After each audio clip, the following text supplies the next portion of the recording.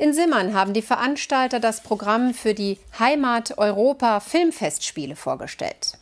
Ab dem 7. August gibt es in und um Simmern drei Wochen lang Filme, Live-Konzerte, Kabarett und andere Kulturangebote.